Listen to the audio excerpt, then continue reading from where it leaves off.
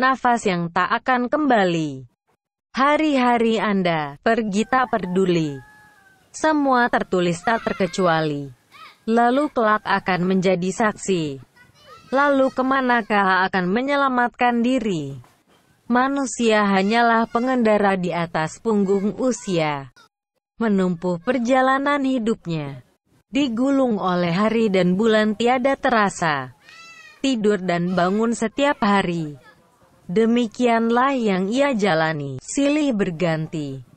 Sebenarnya, dunialah yang ia jauhi. Dan liang kuburlah yang ia dekati. Istana duniawi telah Anda bangun. Kokoh dan megah mempesona siapa pun. Tapi istana akhirat Anda babat. Hancur tak perlu diingat. Kehancuran itu membuat Anda benci bahkan mempertanyakan untuk apa mati. Hasrat pun semakin menghebat. Pada pesona istana indah nan mengkilat. Perjalanan di dunia, perjalanan musyafir. Maka, hanya bekal yang harus dipikir. Satu hari berlalu bagi manusia. Berarti satu hari berkurang usianya.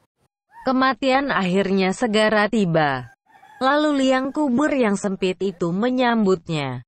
Di antara keajaiban masa, bahwa Anda duduk di atas bumi di dunia. Padahal, Anda sedang mengarungi perjalanan. Tak ubahnya seperti laju perahu nelayan. Mengangkut bersama satu kaum melanglang. Lalu, tiang layarnya terbang menghilang. Jika satu hari berlalu, sudah tapi tidak mendapat hidayah, dan tiada pula ilmu bertambah. Apa arti umurku di mata Allah? Dunia tempat tinggal luas terhampar. Di sana pesona dan fata morgana dikejar.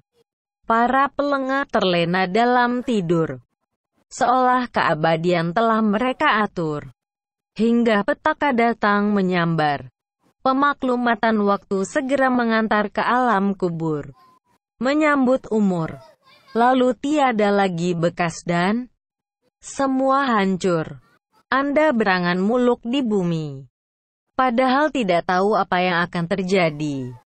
Bila gelap malam telah menyelimuti. Masih hidupkah esok hari? Betapa banyak orang sehat mati tanpa sebab yang berarti. Betapa banyak orang sakit ingin mati. Tapi ia hidup dari hari ke hari.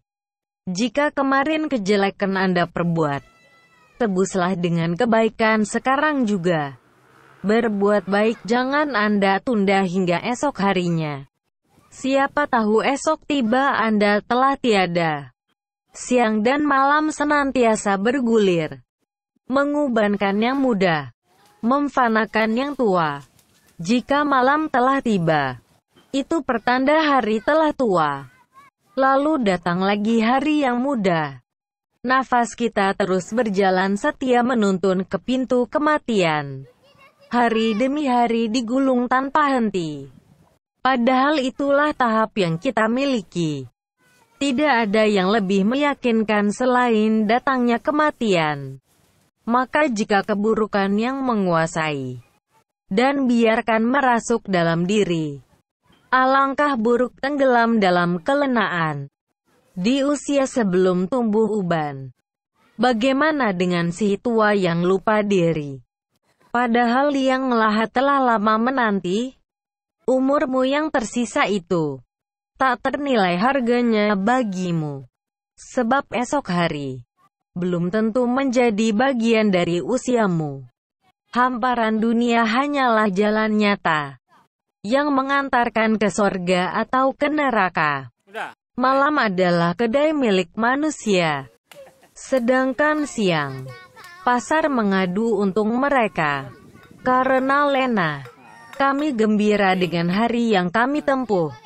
Meski kami terus mendekati ajal, yang sebenarnya tidak jauh.